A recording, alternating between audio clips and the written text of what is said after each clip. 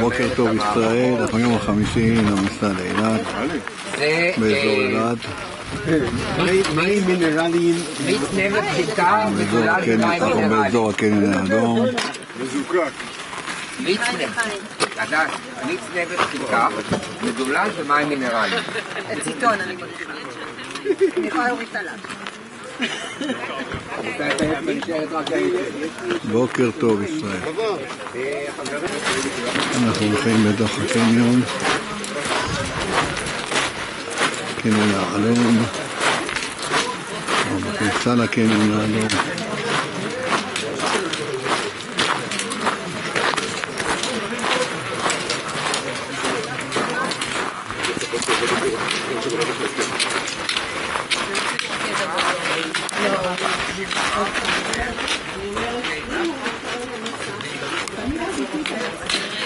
בתוך הקניון האדום.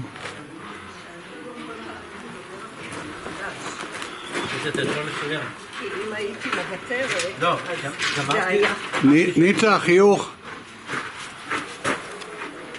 אהבתי את זה שמלא גישרון עשיתי אתמול לבד, בלי רול. זה בגלל.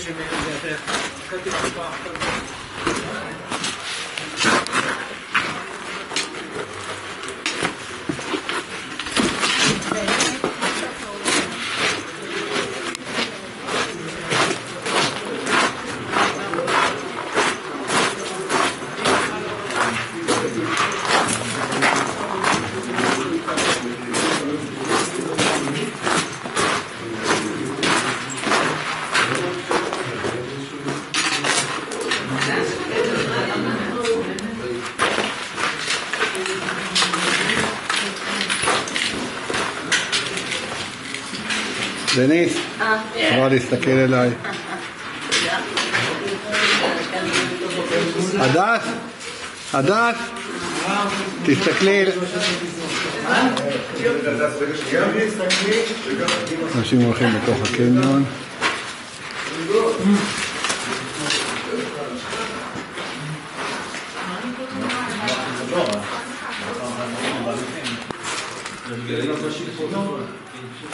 תמשיך, תמשיך, ירידה. ירידה ביתדות בקניון. בוא תתקדם עמית. תודה.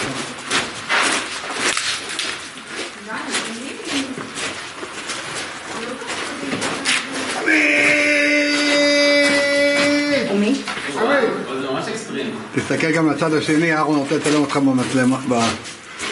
יאללה. טוב, תעשו לי בסדר. קדימה, אהרון, בוא תיכנס גם אתה לסרט.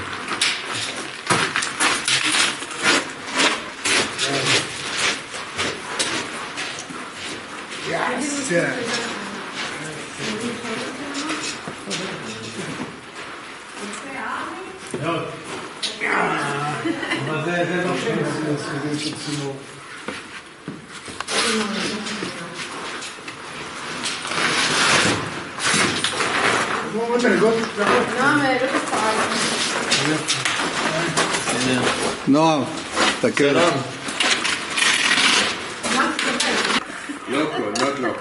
יצאנו מהקניון האדום, אנחנו סוף מסלול, האמצע של המסלול המעגלי, כאילו מפה חוזרים למסלול החנייה.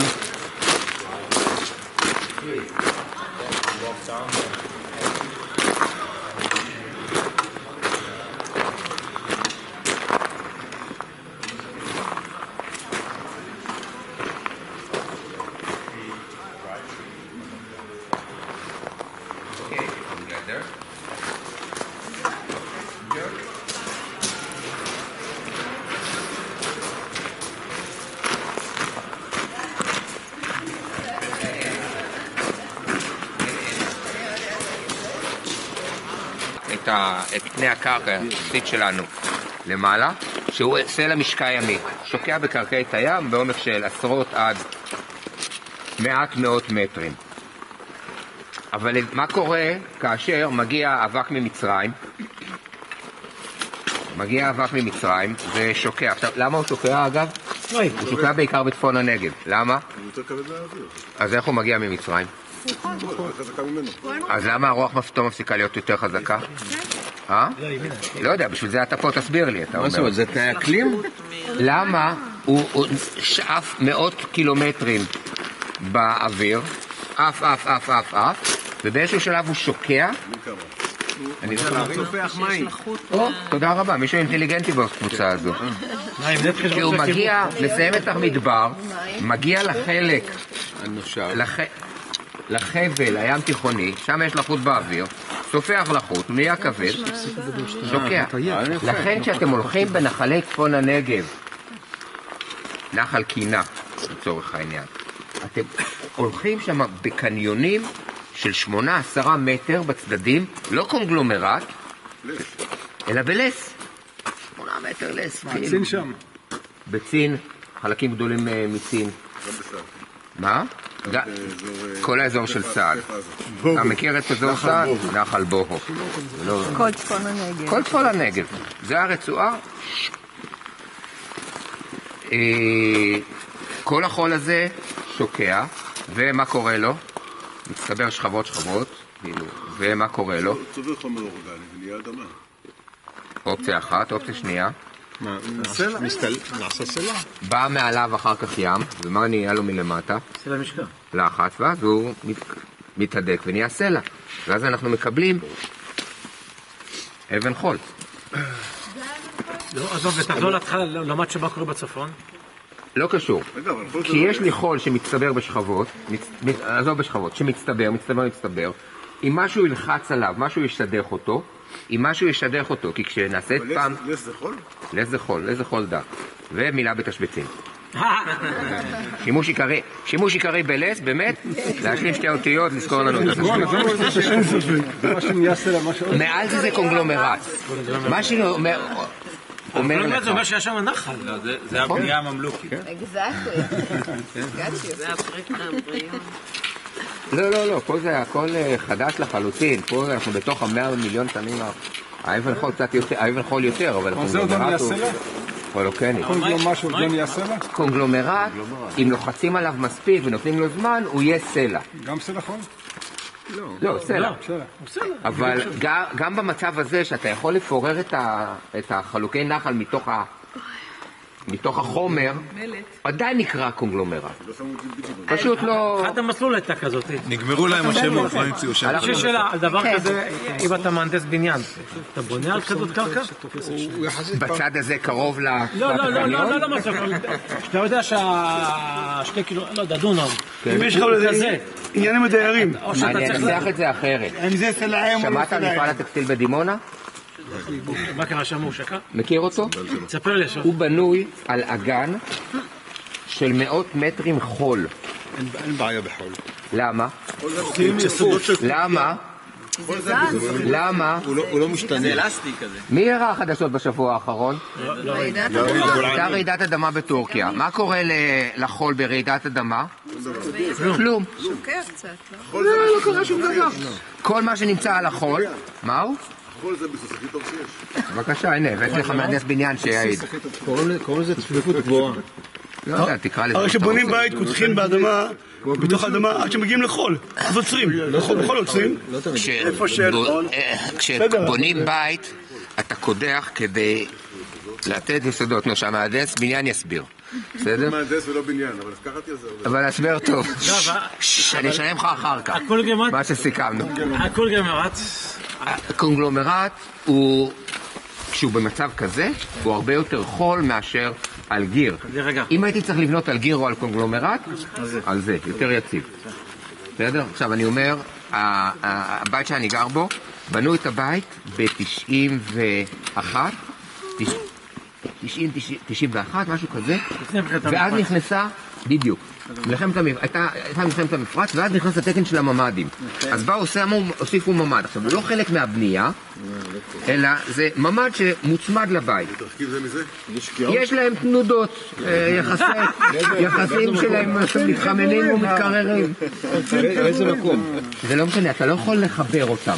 אתה מדי פעם צריך לבוא ולהזריק סיליקון. לא יעזור שום דבר. עזוב, לא יעזור שום דבר. כל אחד עובד אחרת. מוצמד מהצד. איך הקבלן הסכים? מה זה איך הקבלן הסכים? לא, זה החוק במדינת לא, ישראל. אבל הם בנו את זה ב- לפני החוק, אז איך אה. לא, כשאתה מוסר את. הבית, אתה לא יכול למסור בית בלי ממ"ד. החוק נכנס לתוקף, אז מוסיפים ממ"ד. בבתי קרקע אין בעיה להוסיף את הממ"ד. הם הוסיפו אותו כאילו, תפרו אותו חיצוני? אתה בית הוא צמוד- יושב- הוא אתה יושב צמוד צמוד. קרקע? הוא יושב צמוד. עקומות, עקומות, עקומות, עקומות. תסתכלו למעלה, רואים כבר שכבות חדשות יותר.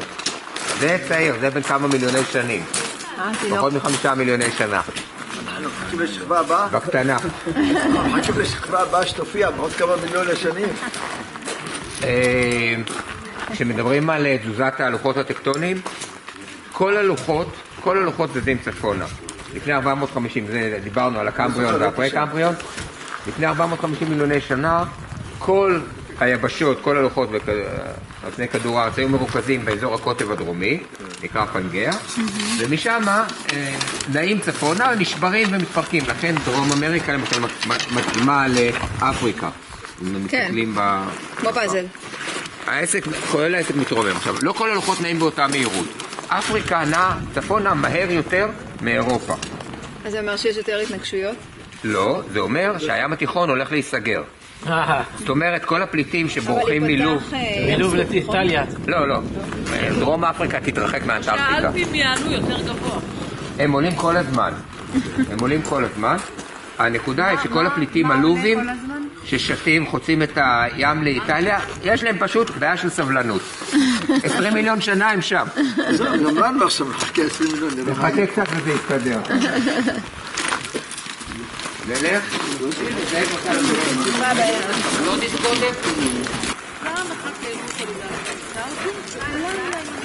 הנה האדום, כיוון. זה חוזר נחל שני שחוזר ל- לחייה. פה גם נחל קניוני.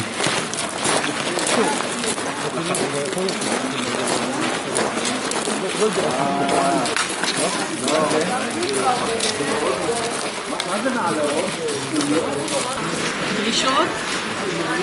אספר לך על חוגים, אני אוהב סיפור. נחל שני.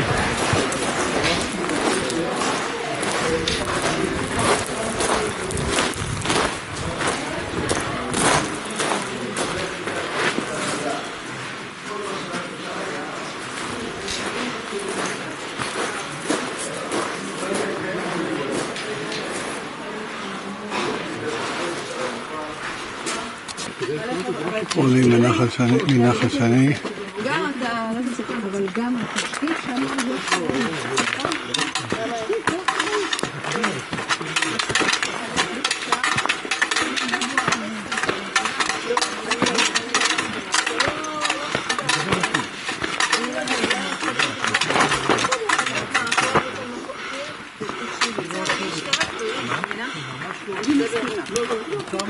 מתאים צבע, זה לא מתאים לכולם, זה כן. זאת אומרת, לא כולם מתאים להם לטייל בנפאל. צריך לדעת לטייל. וריגוד ותחש.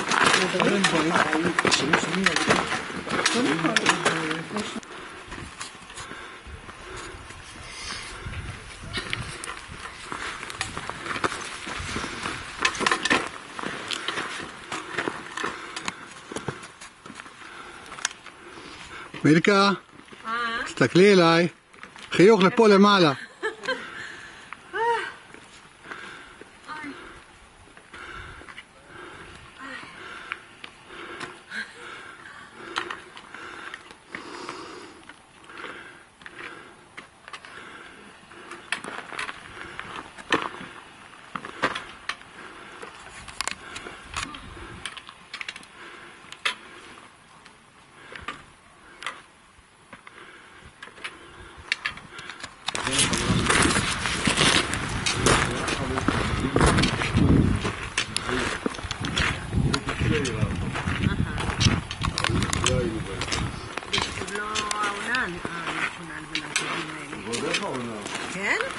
מים פה, לנו... אה, צריך שגם יהיה מים, וגם שיהיה חם כדי שתוכל ליהנות שלא יהיה יותר מדי חם.